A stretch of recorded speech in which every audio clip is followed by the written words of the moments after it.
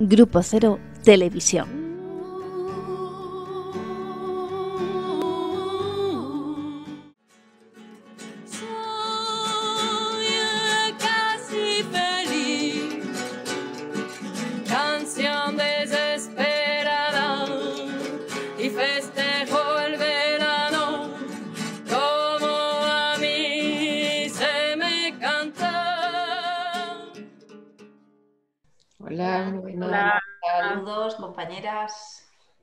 ¿Cómo, cómo vamos? Vamos, vamos. eligiendo, eligiendo. Bueno, bastante bien, bastante bien. Bastante bien, la verdad. Vamos bien, ¿no? Bastante bien. Bueno, y tú comiendo ahí, alimentándote mejor, ¿eh? Liviano, liviano. Parece que te estás comiendo un duro. Hablar de estas recientes elecciones americanas que tanto bombo han dado, ¿no? Porque los periódicos han ganado mucho dinero, la prensa, todo, las publicidades seguramente habrán subido el precio, digo, porque fue una telenovela, wow, buenísima, ¿no?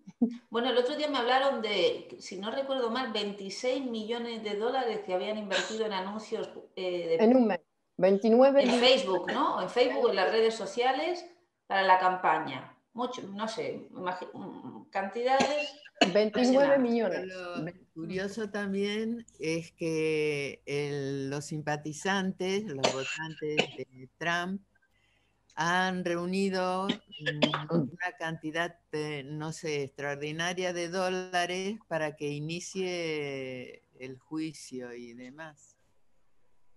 Eso sí que es saber perder, ¿eh? Sí. Pero bueno, es que a ese nivel es increíble. Sí, es un nivel de negacionista. Es un psicópata o no sé, pero no es normal. pero... Ha tenido... Ha tenido 7 millones de votos más que la otra vez, ¿no? Ha crecido sus votantes, pero es que Biden ha sido el presidente más votado de la historia de Estados Unidos pero era en contra del otro, ¿no? Claro, claro. Ha movilizado a muchos votantes y aparte está muy dividido el, país. ¿eh? De acuerdo que ha ganado. Que la, la, gente, los fans de Trump, tienen un discurso que digo que no es lo que dice Trump. ¿eh? Trump es el como el vendedor, ¿no? El vendedor, el comercial. Pero después hay todo un grupo de fans de, Trump que tienen un discurso que dicen, van diciendo que Trump no se metió en ninguna guerra, empiezan a decir que él abrió no sé qué, entonces tienen un discurso bastante populista diciendo que ha hecho buenas cosas para los seres humanos, ojo. Si ¿No? el Nobel. No es que, votan por un delirante, votan por una persona que con un, un discurso que dicen y que dicen que todos los lobbies están en contra de él, que no sé qué. Claro, yo creo que es llamativo, por un lado, eh, decir que hay una mitad de la población de Estados Unidos que ha votado, claro, ha votado a Trump todavía. Es decir, que hay un montón de personas, como tú dices, 7 millones más que han seguido votando en ese, eh, ¿no? confiando en ese candidato. Entonces, eso también nos tiene que hacer pensar algo. Es como un estado infantil de, la mentalidad de la población que elige, elige esos representantes políticos con ese discurso absurdo o antihumano. Sí, pero mira, hay una cosa que ha hecho Biden que me ha parecido muy inteligente, ¿no? Digo, y también apropiada, que se, eh, en el discurso lo que dijo es que quería ser el presidente de todos, ¿no? Que volvieran a ser los Estados Unidos, porque ahora están divididos. Bueno, pero eso no es magia, eso va a costar mucho tiempo. ¿Cómo? Que eso no se hace por magia, eso va a costar mucho tiempo para esa unión, porque como dicen, acaban de decir, ¿no? Tantos votaron a Trump, no sé cuántos más. Es decir, que ya hay que hacer una, una remoción de esa ideología y eso lleva mucho tiempo. Eso no es de la mañana a la noche, ¿no? Son intenciones por ahora, vamos a ver cómo las juega, ¿no? Eso decía el otro día un norteamericano encuestado por la calle, por un periodista, que ahora va a llevar décadas recuperar lo que, lo que se ha perdido, ¿no? Decían si puede, ¿no? Si no hay un giro hacia la derecha. Pero yo creo que no, no, no tiene por qué ser, si se plantea bien, porque todo eso es marketing. Del mismo modo que han hecho marketing en el otro lugar, hay que hacer marketing, no tiene por qué tardar tanto. Pero tiene que haber un buen plan y un buen marketing, una buena, una buena dirección, pero realmente tienen que querer, porque dicen que sí, pero realmente les interesa. Bueno, no sé, no sé si es todo, o sea, está el marketing, claro está, pero luego está la verdad, la verdad del pueblo también, que hay pueblo. Y este ha dicho, somos el pueblo. Se ha presentado así Biden en el discurso, ¿no? Pero es relativo, ¿no? Lo que es cierto que lleva no sé cuántos años presentándose para presidente, ¿eh? ¿El qué? Que lleva no sé cuántos años presentándose para presidente. Sí, claro. Y fue vicepresidente de Obama. Sí, ocho años. Es que tiene experiencia como político tiene muchísima, ¿no? Claro, y yo leí un artículo. Respecto a lo que dicen de Trump, que no hizo la guerra. Y es totalmente mentira, porque simplemente con eh, las modificaciones que hizo para los impuestos de aduana y las mercaderías de otros países, etcétera, etcétera, eso creó muchos desacuerdos. Y bueno, no sé. Sí, también había una, guerra económica, una guerra económica contra China, sí, prohibiéndole pero sí, porque es esa mentalidad también de cerrarse, de ser más nacionalistas y autoabastecerse ellos, porque eso ha, roto un montón de relaciones de Estados Unidos con el mundo, donde le ha sacado del tablero de juego a Estados Unidos, que era siempre el, jefe, ¿no? Entonces, claro, ese les ha, yo creo que ha sido un golpe sobre todo para Estados Unidos tener un presidente como Trump. Claro, pero es una cosa moral, ¿no? Porque es como, han primado intereses económicos, pero yo diría morales, porque alguien que tenga conocimientos en, el funcionamiento del sistema capitalista, que es el que sobredetermina ahora mismo las relaciones internacionales, ese sistema capitalista prospera eh, en, la confianza y en los acuerdos de yo produzco tal y lo vendo, es decir, en las transacciones económicas. Sin embargo, vemos que ha habido frenos a transacciones muy interesantes económicas y que hubieran hecho prosperar a países mismo Estados Unidos y que han sido frenadas por cuestiones morales y por cuestiones eh, de competitividad infantil. Eh, diciendo yo soy el mejor y soy el mejor y soy el mejor, eh, pero no se basa en la realidad de tu país. Es decir, que tenemos que reconocer que otros países, por ejemplo China, en otras cosas, son mejores actualmente. Sí. Lo que pasa es que Trump actuaba más, era pasional, ¿no? Sus pasiones, pero también mezcladas con sus negocios, porque parece ser que él paga más impuestos en China que en Estados Unidos por sus negocios. Entonces digo que también estaba esa cuestión de cómo llevar de lo, personal al, al gobierno de un país. No es, que, no es que paga más en China que Estados Unidos solamente, sino que en Estados Unidos creo que paga 16 dólares por año, algo así. Sí, que es un poco estafador. Es mm. estafador, desde luego. Dicen que así montó su fortuna, eso no sé, es una opinión no convalidada, ¿no? Pero que fue... Lo que pasa es que el pensamiento, si no me equivoco, chino, es que si yo cumplo las leyes y trabajo, prospero. Y, hay otros pensamientos que dicen, si yo soy un tramposo, tramposo, prospero, pero soy un tramposo. Es decir, estafa al otro, robo al otro, engaño. Entonces, claro, hay que ir distintas formas de prosperar. Prosperar, el que trabaja, prospera. Fíjate que anunció lo del robo, yo digo porque el inconsciente existe, ¿no? Anunció lo del robo antes de ser robado porque antes del conteo de los votos, él ya estaba diciendo que, lo iban a robar, entonces apareció el robo en él como un exponente de lo que él es, ¿no? Sí, porque además, siendo el presidente él, si hay amañes será por, por, parte de él, ¿no? Que tiene más control sobre el sistema electoral y sobre todo los, sobre el sistema. Es que es una cosa muy, muy y, ¿no? bueno, y cómo quiere manipular el tema de el orden judicial, porque claro, eso, no sé, eso es muy difícil. Es como si quisiera ponerse él en ese lugar, ¿no? Y, y quitar a todos los que hay. No sé, es que ¿qué pasos va a dar ahora para, para intentar ocupar ese lugar que ya no está? Yo creo que sin salud mental la vida es difícil. ¿eh? Sí. A ver si se animan a explorar como hizo Freud con Wilson, la personalidad de, Ah, de este bueno. hombre. Sí, pero también son sistemas que, que- que toleran eso, porque Wilson era Wilson, pero lo votaron y lo pusieron ahí.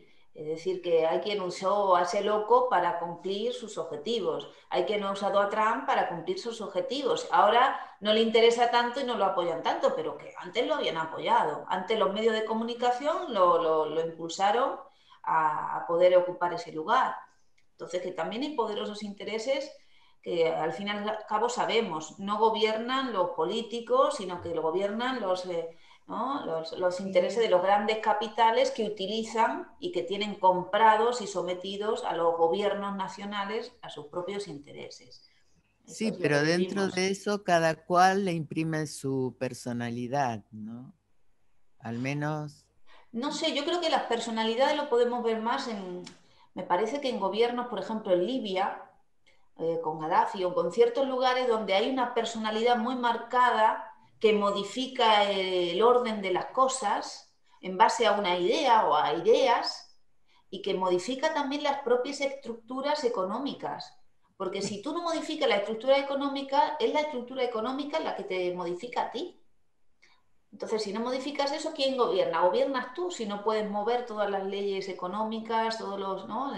Los políticos están ahí porque los bancos han puesto dinero en sus campañas. Claro, porque casi sería, quizá el, el delirio de un presidente, casi es la señal de, de la locura del sistema, ¿no? Digo que, que el Eso, a mí me presidente... no parece que es el sistema, ¿no? Porque Claro. hay un chiste que ponen en Facebook, Macri, que tampoco logró ganar la segunda vez, como este, dándole la mano a Trump y diciéndole, no hemos logrado el logro que queríamos lograr.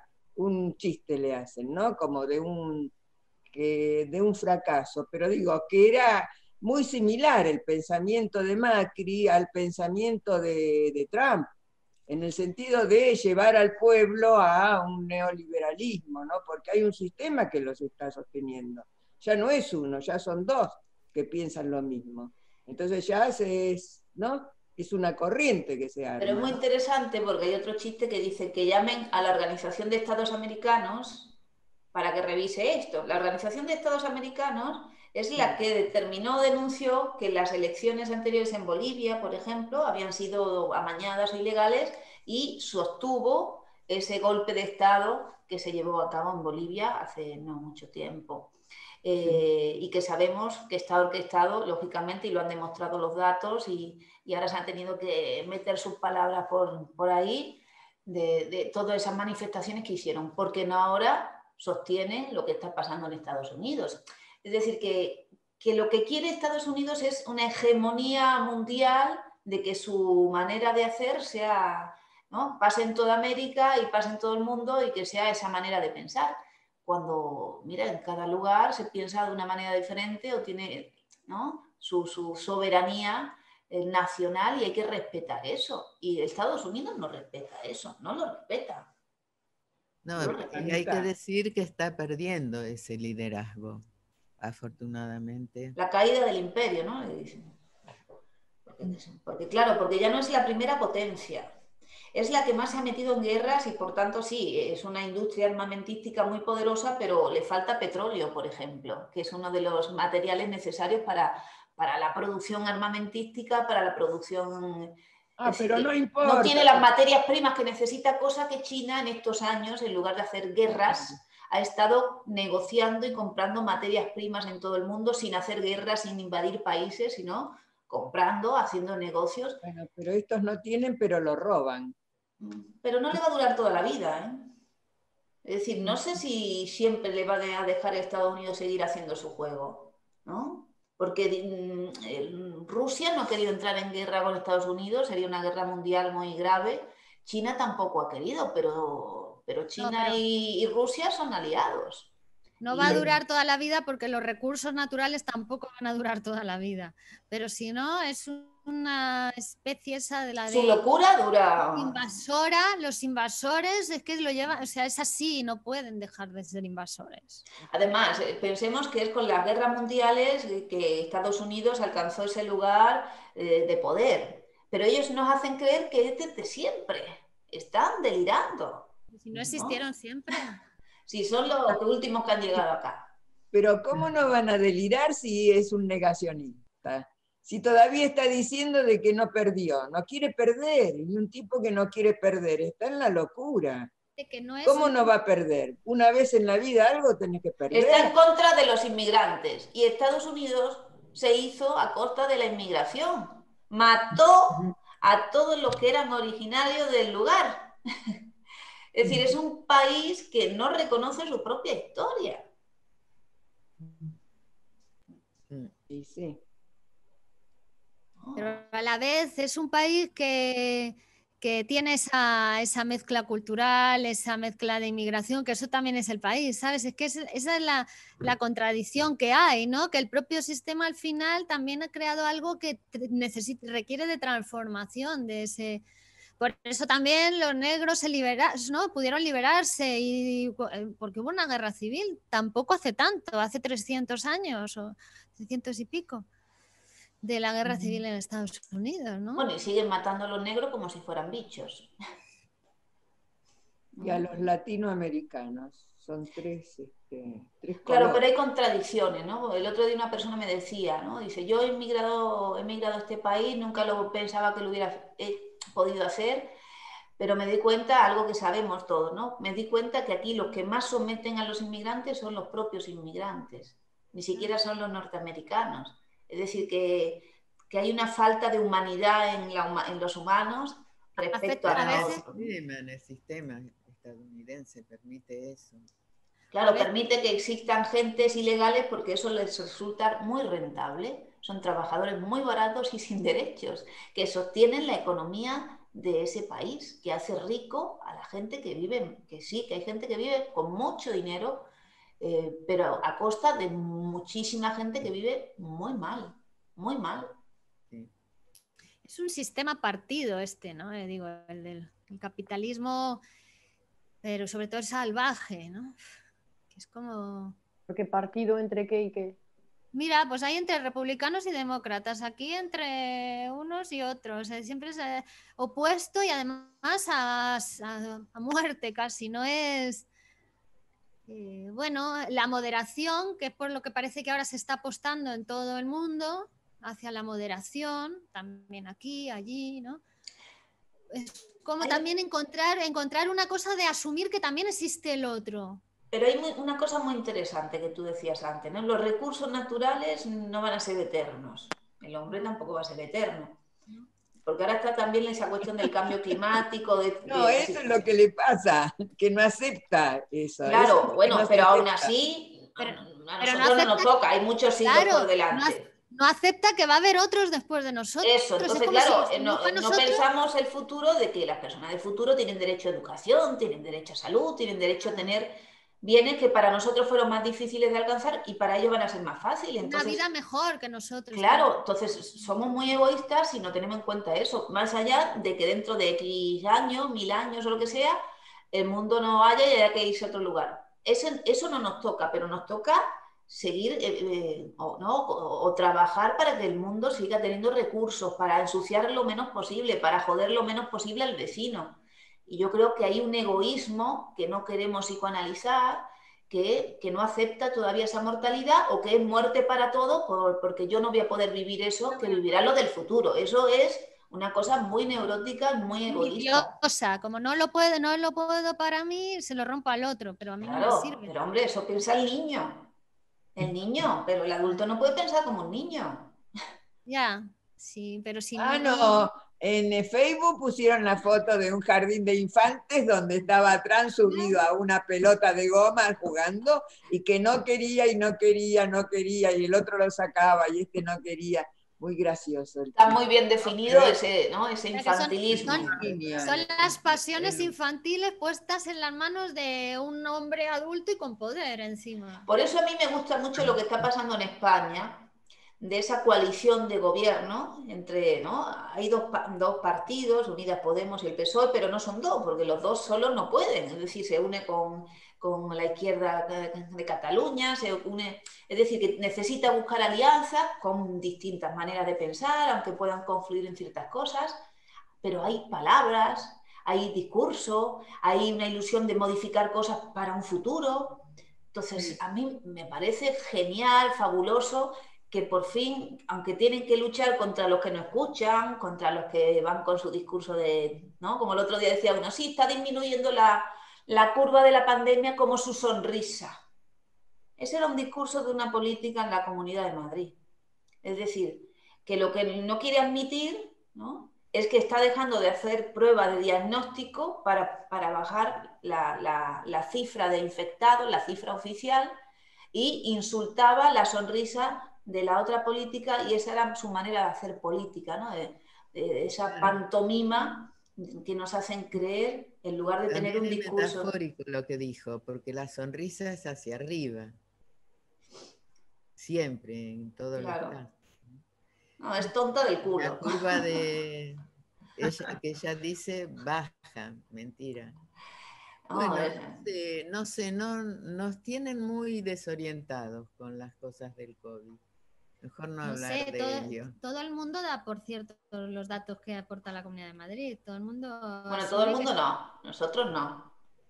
Hay muchos que no toman en cuenta eso. No sé, ¿eh? no sé. No sé, el otro día una persona que trabaja en una entidad pública le decía a su jefe, mira, ha habido un contagio, esta persona ha estado en un grupo de estudio y nos ha podido contagiar a todos, nos hacemos la prueba y le dijeron que no, que no avisara a nadie. Entonces, en, un trabajo epidemiológico, lo primero que se hace es hacemos la prueba todo para evitar el contagio a los demás. Bueno, lo que es cierto es que las UCIs están llenas, que hay muchísima gente y que además van, porque los que han sobrevivido parece como a la primera ola, parece que ahora son inmortales. O sea, dicen que los hospitales, incluso los médicos, están con la mascarilla abajo que no respetan los mismos médicos en los hospitales, no están respetando ahí las, ¿no? los cuidados de, la, de las medidas ahí tomadas. Entonces hay como una cierta actitud para algunos de decir, bueno, ya pasé la primera, soy inmortal, ¿qué tal? El hombre comete muchos errores. Pero las, los hospitales... en China hay un infectado, uno solo infectado y... Cortan todo. Es que la salud sobredetermina para que haya economía. Aquí es verdad que está pasando algo ahora diferente y es que os, está dando menos importancia que cuando la primera ola. No, yo pensaría otra cosa. En la primera ola el gobierno nacional intervino con una orden de confinamiento nacional, bueno, y fue atacado, ni te cuento. Hasta que no consiguieron las comunidades revertir eso atacándole como un dictador, ¿no? Ahora, ¿qué ocurre? Para el presidente, para evitar esa situación, ¿no? esa hostilidad, ha dicho, bueno, las comunidades gestionan eh, la situación de alarma. Entonces, cada comunidad se está responsabilizando de eso. ¿Qué ocurre? Que ahí cada uno toma la medida que toma. Entonces está pasando que hay un descontrol total en las medidas, porque hay intereses políticos eh, en ello. Y además, sobre todo cuando hay distintos partidos que gobiernan distintos lugares y hay partidos políticos que no trabajan para la salud de las personas, que trabajan para quitar al gobierno de la nación.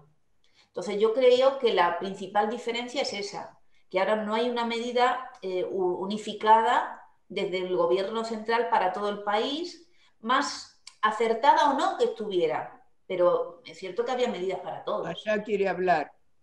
A mí me parece que no me gusta criticar el gobierno, en este caso este, pero no hay plan. No hay plan, el único plan es poner la mascarilla. Entonces, durante... Es que tú dices, es verdad, que nos dijeron confinamiento, eso era una, una, cosa así que nos ponía todos ahí en, en, casa. Pero después, ¿qué plan hay en contra del virus? ¿Qué plan? Porque dice que en Taiwán hace 200 días que no tienen un nuevo contagio. Y dice que los países que tienen esos resultados abrumadores tenían un plan de acción un plan como atacar. Tienen es futuro, que, es que tienen, un, tienen un, monstruo, tienen un enemigo. Es como si viene la guerra y tiro un, cañonazo por aquí, un cañonazo por acá, miro los resultados, me... Son delirios. En España no se entendió como un problema de la población.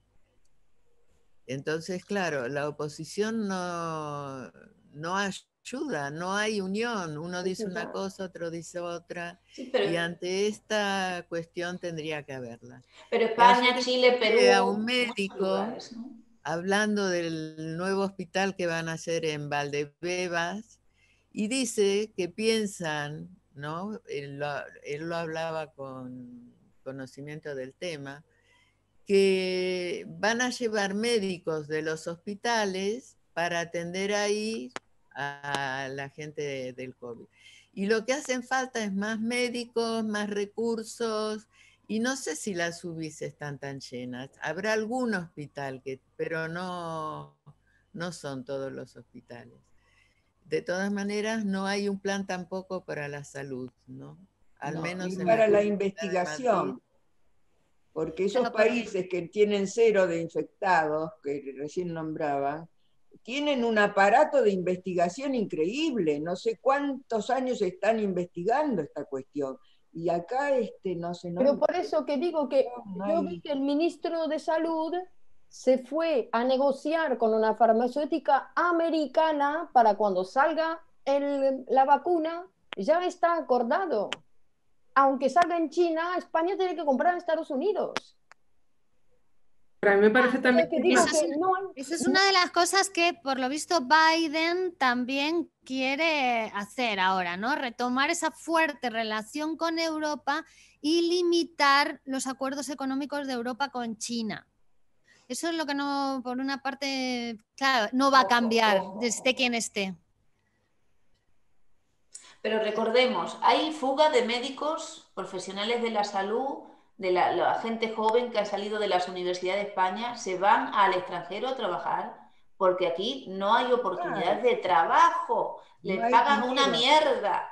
Entonces, no van a querer aumentar. en España se, han ido, se han ido. Claro, esa es la cuestión quizá, es que está desplazado el punto donde habría que poner el énfasis, la cuestión en que está, vale, ha hecho un hospital Ayuso en Madrid, vale, pues vamos a sacar plazas para llenar ese hospital de médicos que recién se están licenciando o médicos, eh, yo qué sé, digo, pero contratar médicos. Lo que pasa, que lo que le, resulta rentable a estos políticos que tenemos es contratar a una empresa constructora que financia a su partido, ¿no?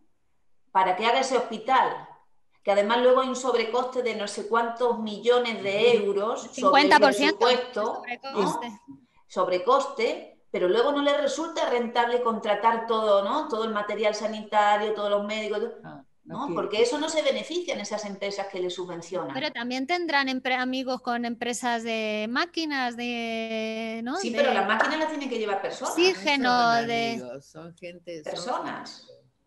Digo, lo que no resulta rentable luego para estos partidos políticos. Ahora, este, en la comunidad de Madrid están levantando todas las, calles y haciendo obras y construcciones. Y eso sale. la tuya, la tuya, la tuya que sale un pastón, digo, porque ese dinero no se fue postergado para esta crisis, ¿no? Porque se siguió. Porque tienen como partidas económicas y si tú sacas dinero de una partida sin el apoyo de, pero bueno, que lo podrían haber apoyado todos, no sé cómo, pero si lo sacas de una partida a otra partida, eso es malversación.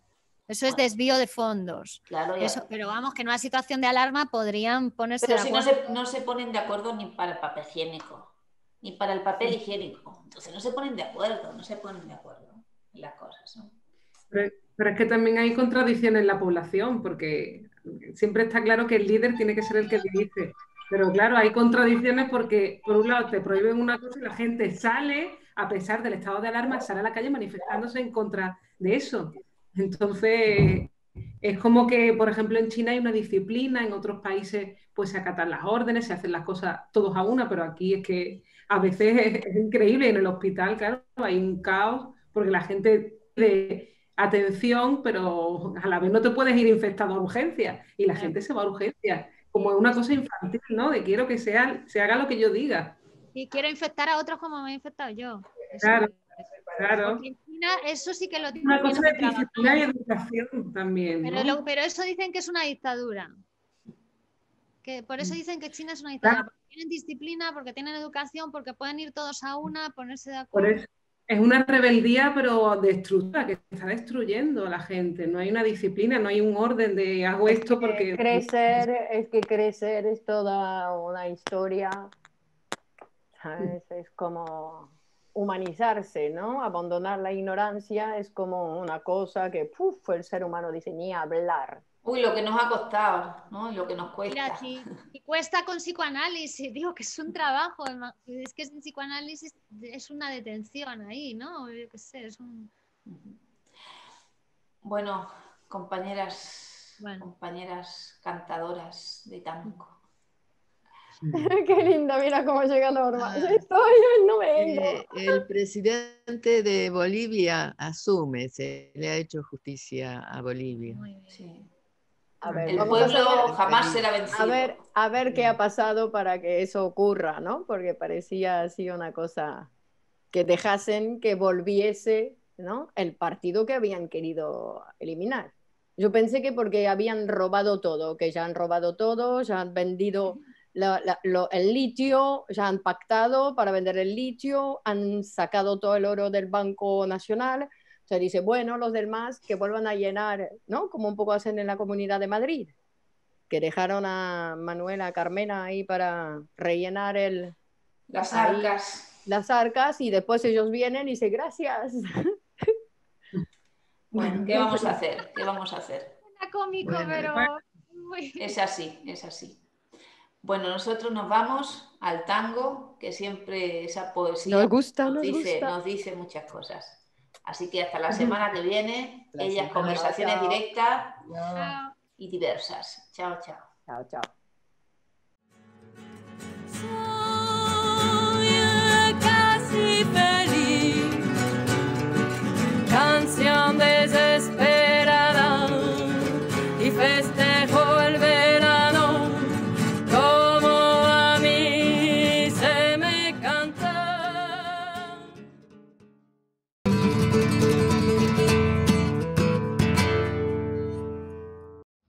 ¿Sabías que para psicoanalizarse no hace falta estar enfermo? Psicoanalizarse es hablar con alguien que aunque no te diga nada, sabe lo que te está pasando. Departamento de Clínica Grupo Cero. Somos especialistas en psicoanálisis. Te atendemos en Madrid y también en nuestras consultas online. Llama al teléfono 91 758 1940.